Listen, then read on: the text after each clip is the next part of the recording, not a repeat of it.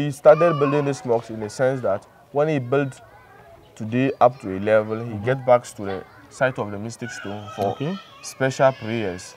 And the next day before you could come back, this mosque will increase by itself higher than what he has built. Ah, the wall will wait, wait, wait.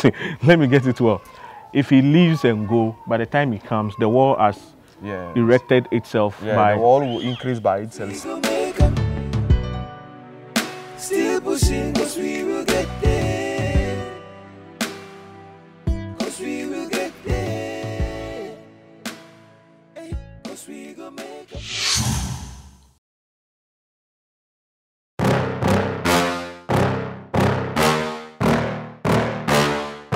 Yeah. Please tell me that I can't, that I won't, that I fail, that I'll never make it out, yeah. Please tell me all the bad, never good, fill my head full of every single doubt, yeah. Please say any negative thoughts, I pop off when I hear people say I cannot. I get off to the thought of proving everyone wrong, I won't stop to the top, so you better back off and get lost. I'ma stay loud, stay proud, never running out, never heading south. I'll be spreading out, call it word of mouth, can't put me down, I'll be getting loud. You can it douse, not what I'm about. come you all for coming on my channel. My name is Nii Ayi aka Ganyobi, the guy who tells stories from Ghana. Uh, I tell unique stories from Ghana and also show you places in Ghana that in case when you find yourself to be in Ghana, you can visit and also experience the life here in Ghana. Uh, if this is your first time coming on my channel, um, don't forget to subscribe, like, share, and also comment on the videos when you like them. Currently, I'm on a project that I call This is Ghana Tour, aka Ghana to the World. One region, one tour. We're going around Ghana to document Ghana and show you guys the beautiful places around Ghana where you need to be, you know, just to show Ghana to the world and let people know that Ghana is a beautiful place to experience. Okay, so I'm currently in the Savannah region, which is formerly known as the Northern region. And if you can see behind me, there is a mosque that is called the Larabanga Mosque. And this mosque is over 600 years. Yes, I know you are shocked. It's over 600 years and it's one of the tourist sites here in Ghana. I've carried my camera and my people all the way from Accra, the Accra boy in the northern region, just to show you how this place looks like. And places you have no idea, especially where the TV stations, the BBC, the Al Jazeera, the world Western media doesn't show you. So don't forget to subscribe, like, and share, and let this family grow so that we can be able to travel around Ghana and show you beautiful places.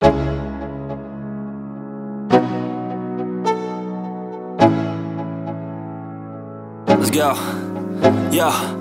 I'm like an addict, do I gotta have it? I ain't even playing, got a really bad habit. If it moves, gotta grab it, fuse like a magnet. Lose, won't have it till I'm doomed in a casket. I ain't playing, got a weird mind. If you work 8 hours, I'ma work 9 If the shoot tastes sour, you should taste mine. I'ma stay in power for a long time. Get up, nah I ain't a quitter. Toss me the I'm a really big hitter. Big picture, I'm a straight killer. Rising the song to the highest bidder. Got juice, got gas, I'ma move fast. New shoes, new tracks, like who's that? I'm new, come back, better than last Yeah, it's a new me, never gonna look back. Never gonna look back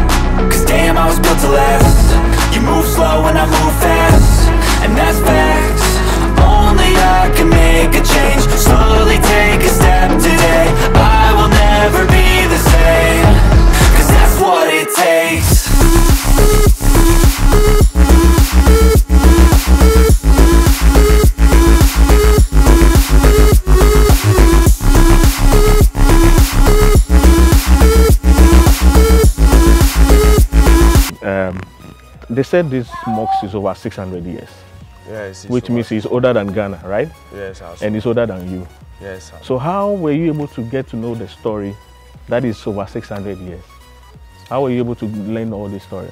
You know, we asked from the elders who were around du- during those days. You know, they too they will not be around, but mm-hmm. there will still be people who will be around who have knowledge about how this community came about and how this mosque came about. So through that, we get to know everything about this mosque. Wow, This mosque over here happened to be the oldest mosque in Ghana wow. and one of the oldest in West Africa. It was recorded around 1451. That's 600 years ago. Okay.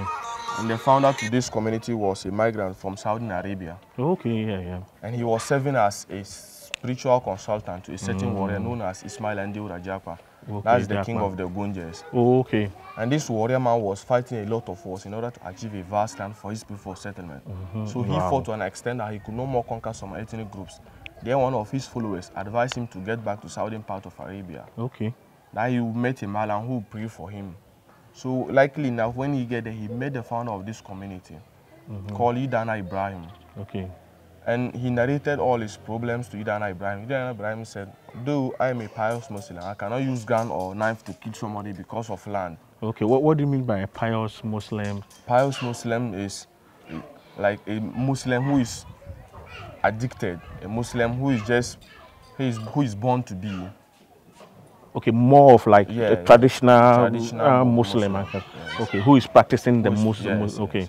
yes. So he tell him that though I'm a pious Muslim, I cannot use gun or knife to kill anybody because of land, but. Okay. I will pray for you in case of any difficulties. Mm-hmm. Then they agreed. But bef- before they set off their journey, Idana Ibrahim promised to the founder, that, eh, the, the, warrior man, that Mm-hmm. before they will step down to Ghana, they will be crossing three rivers. Okay. The last one should be their final settlements. Okay. When they were coming, they passed through Sudan. Mm-hmm. That was where they crossed. They crossed the Red Sea. Okay. And the second sea they could cross was the White Volta. When you are crossing from Tamale down to That's the white region. Volta. Oh, okay. Okay. And the last one they could find difficult to cross was the Black Volta. When you are crossing the north to the south. Okay. There the warrior man insisted to cross the river. He got defeated, leaving the founder alone. Okay. And at that time, the founder was too old. He could not walk back to southern part of Medina. Mm -hmm. And the land over there was polluted with blacks and other dead bodies. Okay. So he needed a virgin land to settle. And from there, the first settlement he could make was the site of the Mystic Stone, Okay. half a kilometer away from this community. Mystic Stone is just over here, Oh, half okay. a kilometer. Oh, okay. So he was there offering prayers, having intention of having intention to put up a structure like this. Mm-hmm. And if you check, the place over there is slopey at the same time rocky. Something like this cannot be put up there. Mm-hmm. So he was work, he was working with a spear, an arrow. He promised to, thr- to throw it high into the sky. That whenever the, the spear land, that will be Where he where will land. settle. Okay. So he stood there, he threw it high into the sky in a spiritual way. Okay. The next day he traced it up and he found it inside the foundation of this Wow. mosque. The black portion you could see, that was the Wow, pro- nice. original foundation. Mm-hmm. And there was nothing to indicate that people have settled there before. Okay. So he was moving around to see that people have settled there before. Mm-hmm. Then he found a piece of booklet written, written in Arabic form. He took it and read it, and mm-hmm. the content inside the booklet was to show him that as a pious Muslim, this is where God has assigned him to settle.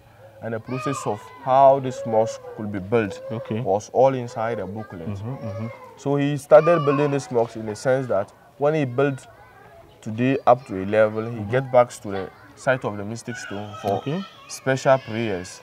And the next day before he could come back, this mosque will increase by itself higher than what he has built. Ah, the wall will wait, wait, wait. Let me get it well.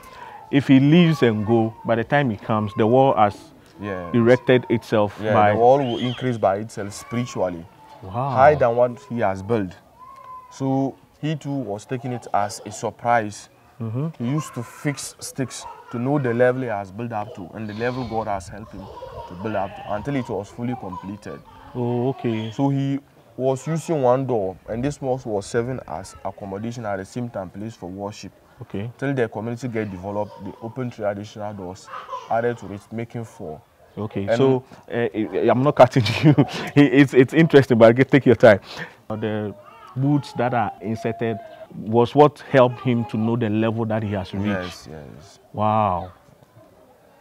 And at the, at the back, you could see, you can see a tree supporting it. Yeah, yeah, It yeah. was promised by the founder that any day, anywhere he buy, he dies, Mm-hmm. they should bury him somewhere closest to the mosque. When he died, they buried him over here, and this tree shoot up. And the tree Mm-hmm. Is about 500 years ago. Whoa. So this tree is the leaves are edible. Okay. So we have 12 clans in this community. Mm-hmm. They, they have some special days that they normally harvest the leaves. Okay.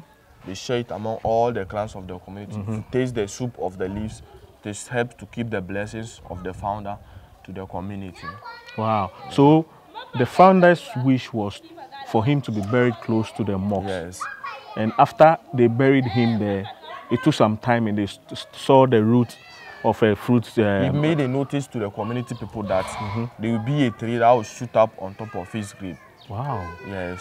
Is this magic or spiritual or something? Yeah, I just don't understand. But anyway, okay, so that's how the dream came about. Yes, yes. Wow. And how you said there are 12 uh, clans. Yes, 12 clans in So they use it to prepare soup Yeah, yeah. and they share to everybody. yes. Have you Taste tasted this. before? Sure, I've tasted it. Wow. So how was it like when you tasted is it is it nice? Yes, it's nice. So- it looks delicious. If if I'm not a Muslim, um, can I also taste the soup some in case maybe I'm around? Oh, you can taste it. You Wow, can taste it. So I far see. as that you are at Labanga, you feel home. Wow, I And see. here we don't discriminate. And how how is how, how is the people of Larabanga?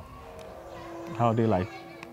You know, Larabanga here, our occupation is just farming Okay. and hunting. Okay. So, like, and 100% of us is Muslim. Okay.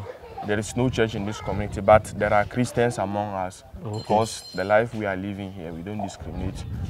If you feel to live with us, we are, we are welcome. Wow. Yes. Oh, okay, nice. Okay, so you were telling me about the doors.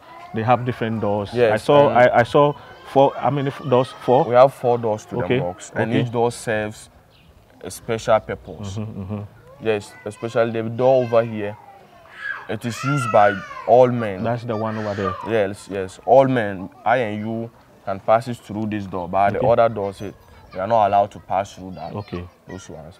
This one is for general men. All men passes through this door. Okay. And the door at the opposite side is Okay. the, for the muezzin, the one who call for prayers. Okay. The Okay. m- door at the front side, front view is for the chief imam. Mm-hmm. He alone uses that door. Okay. And the door at the back over the tree, where the tree is, Mm-hmm. is for the ladies. Wow. Okay. Yes. That's where the ladies. Yeah, that's where the ladies use. Okay. So since I'm not a Muslim, can I enter into the mosque? Oh no no no! Why is it that I can't enter into the mosque? You know they still keep the mosque as a holy place for worship. Okay. That's why that's why you can feel the outside, you can do anything, but you cannot just get. Go enter inside, inside because it's still maintained for worship. Wow. That's just the reason. That's really. That's really nice. I think um, that's all you have for us. Is that a story or yeah, that's any? the short history about the mosque. Oh, okay. Yes.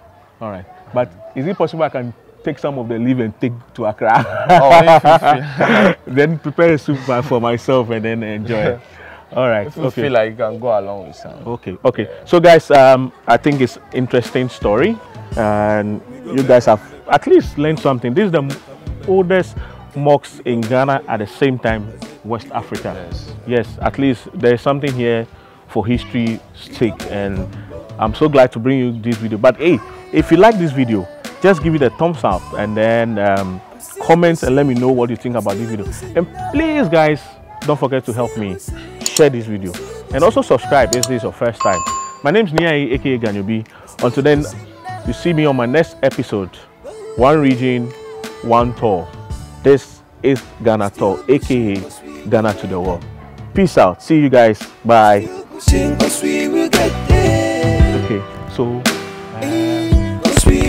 we will get to- there. so I can't fly the drone today, eh? Cause we go make No, I'm not sure.